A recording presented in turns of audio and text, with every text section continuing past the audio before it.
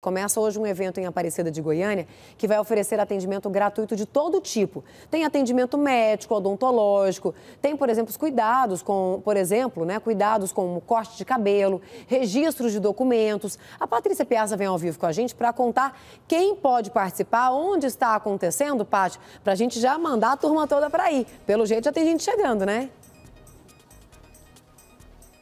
Já tem gente chegando, já tem gente esperando por esse atendimento que começa às 9 horas da manhã no MOCA, que é o Movimento Científico e Cultural de Aparecida de Goiânia, que está na sua 18ª edição. Teve uma pausa ali por conta da pandemia e agora retornou com tudo, viu, mano? Fica aqui na Unifan, no Jardim das Esmeraldas. Então, quem quiser pode chegar para receber todo tipo de atendimento. Quem vai dar os detalhes para a gente é aqui o Divino Eterno, que é pró-reitor de desenvolvimento da Unifan e também secretário municipal de Educação de Aparecida de Goiânia. Divino, conta para gente quais tipos de serviços serão oferecidos, quem pode participar. Bom dia.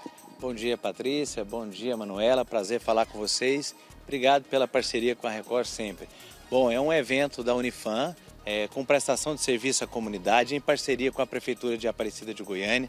Vale ressaltar que o empenho, o trabalho da Prefeitura em poder servir também a comunidade e são vários serviços, né? Serviço esse que a comunidade vai beneficiar, que a academia vai oferecer para toda a comunidade local, a comunidade de Aparecida e da toda a região.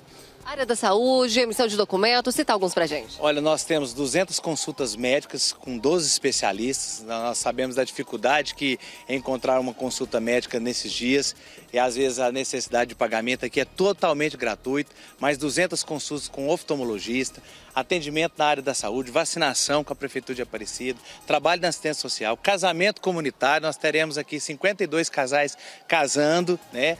projetos voltados para a Feira do Empreendedor, como a Feira da Criatividade, também com a parceria com a Prefeitura de Aparecida e vários outros projetos, atendimento na área jurídica. Então, todos os nossos alunos e professores e coordenadores estão empenhados em servir a comunidade aquilo que a academia tem para oferecer como existencialismo. Emissão de documentos. O pessoal sempre procura por emissão de documento. Como vai funcionar? Tem distribuição de ceia? Qual o dia que vai ser feito? Nós estamos já iniciando a partir das 9 horas né, esse atendimento. A parceria também com a Polícia Civil. Serão é, 100 unidades de carteira de identidade que serão emitidas aqui pela Polícia Civil do Estado de Goiás. Agora, qualquer pessoa pode participar, é aberta à população, é só chegar e poder aguardar aqui para ser atendido? Exatamente. O nosso objetivo aqui é atender com carinho, com dedicação e com muito amor. Aquilo que a academia, aquilo que a universidade pode oferecer à comunidade no trabalho de extensão. Vai até que dia e qual o horário de atendimento? Inicia-se hoje, né? Nós teremos à noite a abertura oficial, é, com várias atividades culturais, apresentações, com parceria com a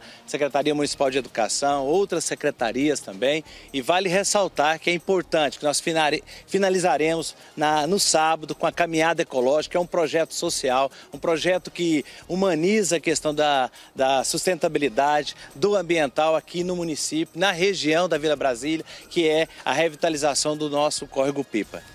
Certo, muito obrigada pelas informa informações. Perdão.